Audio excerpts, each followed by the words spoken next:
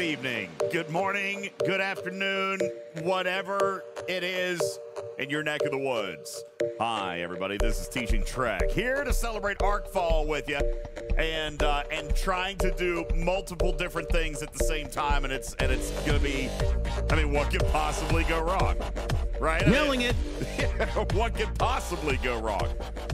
Already, I have started a stream that was not on the link that I published. How how does that even happen? Don't know how that happens. I know. I sent everybody to the wrong stream, doing it live. What could go wrong, Damoff? No clue. Oh. Welcome in, everybody. Appreciate you guys. Uh, oh, yeah. Nothing could go wrong, Jared. Nothing. Oh, Steven Zarin, thank you for the for the sticker, the hype chat. I don't even know what I don't know what these things are on YouTube. We haven't streamed in YouTube in a year.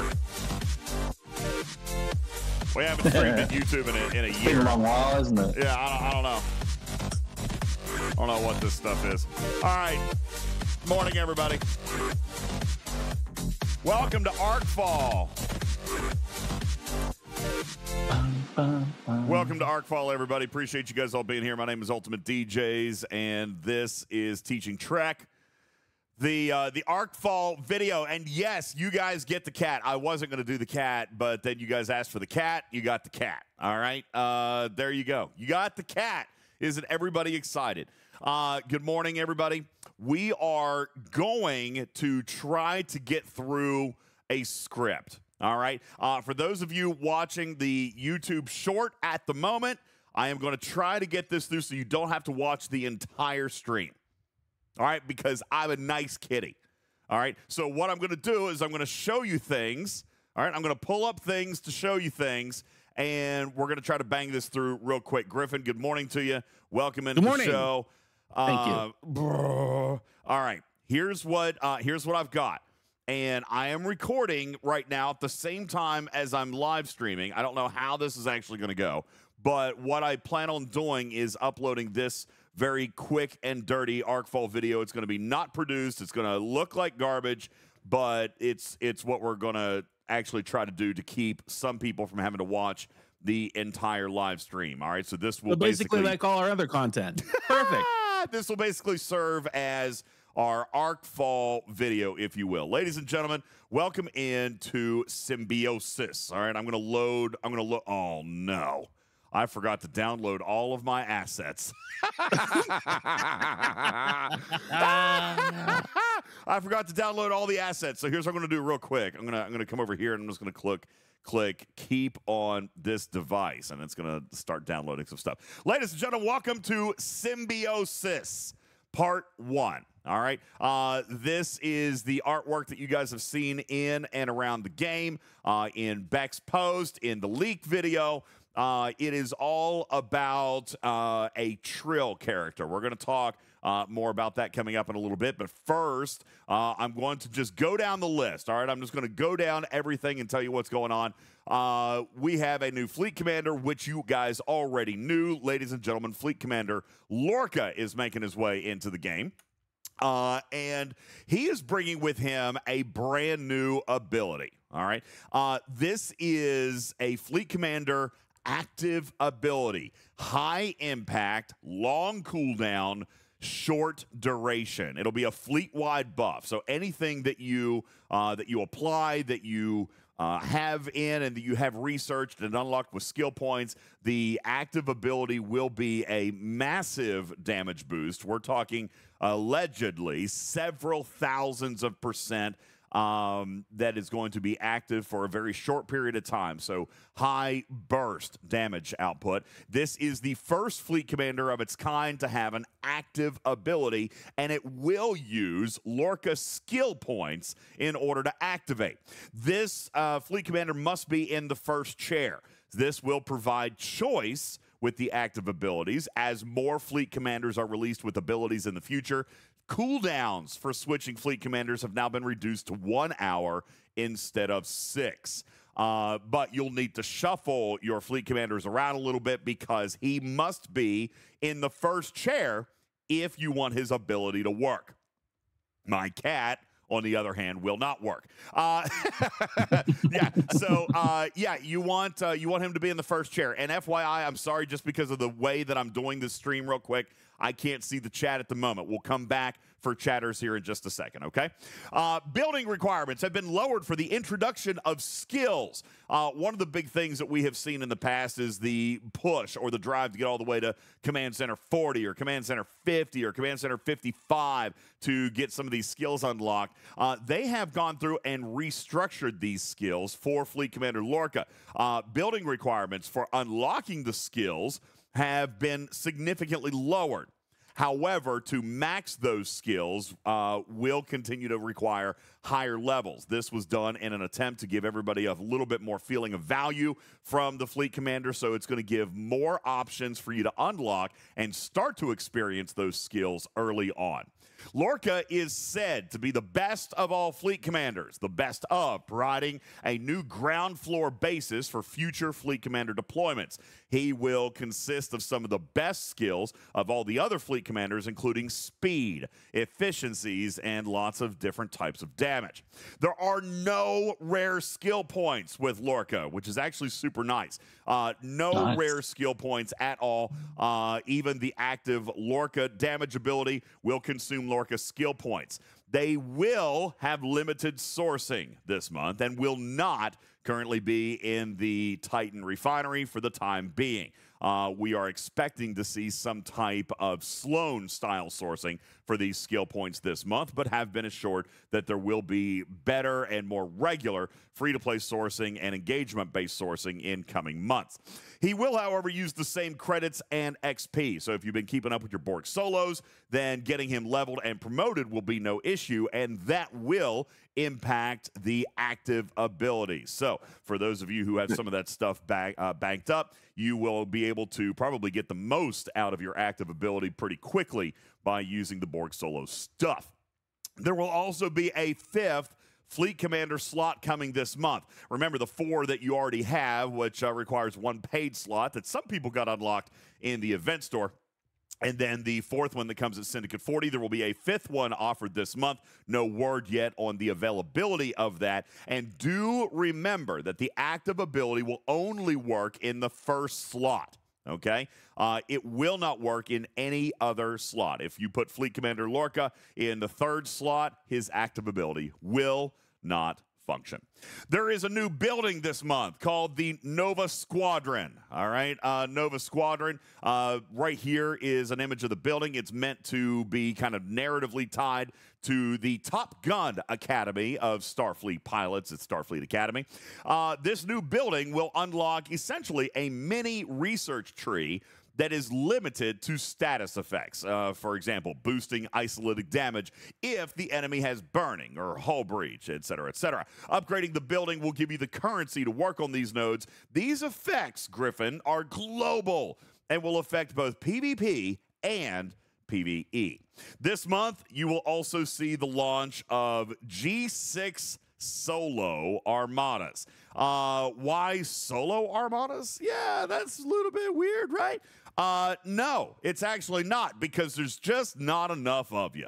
All right. not enough of you. So, uh, not group armadas, simple. Population, preventing the large congregation of G6 players in a single alliance, and not having one person be able to run an armada when nobody else can join. These are going to be present in 61 plus space, including hazard space. They will be structured like all solos. Run the uncommons, redeem the credits for rare directives, and then run those to redeem for epic directives. They will take new directives, so what you have in stock will not service the new G6 solo armadas. The rewards will be consistent with the previous generations of armadas, including faction credits, material, ship parts, uh, for G5 and 6, Sigma resources speedups, galactic acclaim, rare hazard particles, uh, uh, by the way, yes, I said rare hazard particles, which will be used in an extension to the hazards research tree.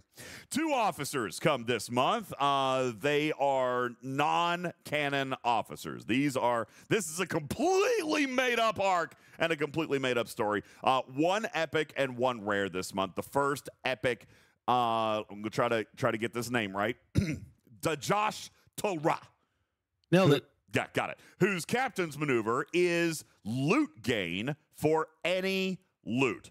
Uh, she is uh, Enterprise E Picard. She is 5 of 11 uh, in that a little bit of synergy can get her up above 100%. Her officer ability increases weapon shots for two rounds against armadas and chimeras. Um, to- Toli is the rare officer this month. This is Toli, and uh, I appreciate the fact that last month Beck got put into the game. This month I got put into the game. Look how dashing. Uh, is the rare officer who is a below deck officer, I believe. Uh, no captain's maneuver, but officer ability. His officer ability lowers Armada and Chimera mitigation stats by a percentage of defense. I could see that probably being important to some lower level players, but his below deck ability, kind of in Alexander Dane uh, styling right there, will increase warp speed by a gargantuan amount. Um, can you imagine, Griffin, a warp speed increase of 1,500% that will come when you max out? Toli here. So, uh, helping to speed things up all throughout the galaxy. New artifacts we'll present this month. We've got eight new artifacts. Uh, they are temporal in nature. I'm trying to see if I have any of the icons. I don't know that I do. Yep, doesn't look like I do. Uh, there are eight new temporal artifacts. These are going to require the same currency as the other temporal artifacts. There are two epics that increase isolytic damage and increase mats and re- uh, resource cost efficiency for G4 through G6. There are three rares that will increase apex barrier when your enemy has a state. There's one for each of the three primary states. And then there are three uncommons, which will increase max cargo, construction speed, and one for specific loops resource, uh, like specific loops research resources. So, like, you know, helping efficiency for, you know, other loops. Uh, there is a new. Doritos, Defiant, Mantis, Monaveen, Titan, and Voyager. Thank you. That obviously came from the patch notes that I haven't read yet. Uh, as a, there is also a new Forbidden Tech this month, Epic in design that has been designed, Griffin, allegedly to be the Mm. best yet. It's called the Quantum Slipstream Drive.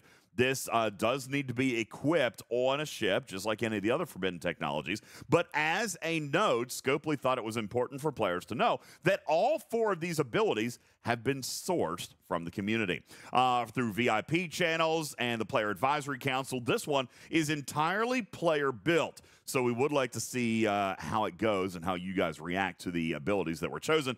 Uh, the first one are going to be uh, is increased warp range. All right, which Griffin I can see being pretty daggone valuable depending on how stout this becomes. But increasing your warp range for any ship that it is equipped on, which people have talked about, wanting extra warp range. This is going to do it. Your next By one, up to 15%. Fifteen Huge. percent. That is a massive number. That's fifteen percent net, by the way, guys. Increasing crit hit chance will be your second ability. Decreasing opponents' shield mitigation every round as a cumulative stack. Will be the third one. And the fourth one, increasing shield health points for the ship. These are global, folks, meaning they work in PvP and PvE. There is a new refit for the Gorn Eviscerator that will add buffs to your ships that cross through a rift. This one is a little bit weird to me. If you have the refit, you have to cross through a rift with a normal ship. It doesn't have to be your rift. It can be an alliance mate sh- rift. But as long as you cross through the rift and you own the refit, then you are going to do kind of like Fleet Commander Lorca. You're going to get a high impact, short duration buff that is automatically enabled and does not cost any juice. Uh, so if you got the refit and then you take a ship through a rift, it's going to come out the other side with with these bonuses and and you know, whatever. Uh, and that is going to come as a result of owning the Eviscerator refit.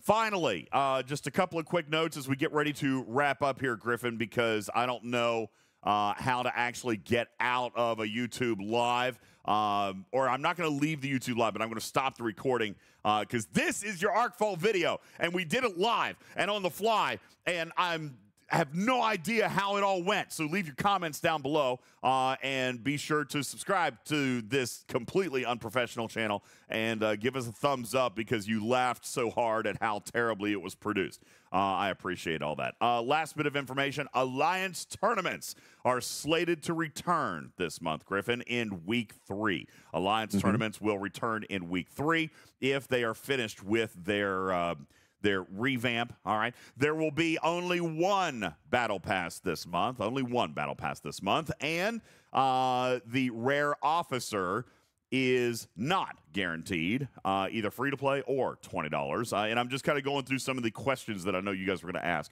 Uh, let's see. There are only two weekends of auctions and uh, of auctions and a heroic SMS for the Epic. There is nothing planned, uh, or they're reserving rather week three for something else potentially.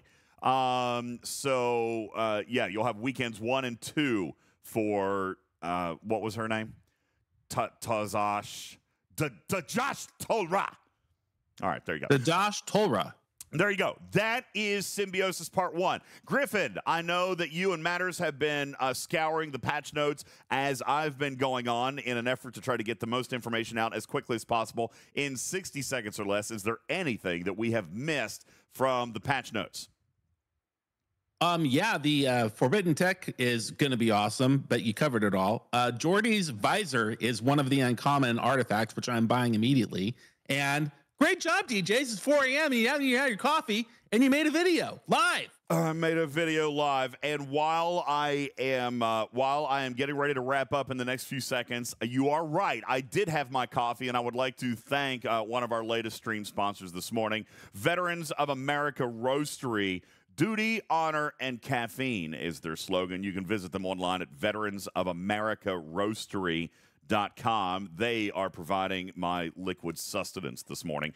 And uh, and oh my God, thank God I had it because uh, I'm zombified. Ladies and gentlemen, that is your video. Welcome to Arcfall Symbiosis September 2024. We'll be back uh, right after this with more questions and tonight on Twitch for a live demonstration of this month's content. Thanks for watching, everybody. My name is UltimatDJz. This is Talking Trek, and uh, we'll be back uh, right after this.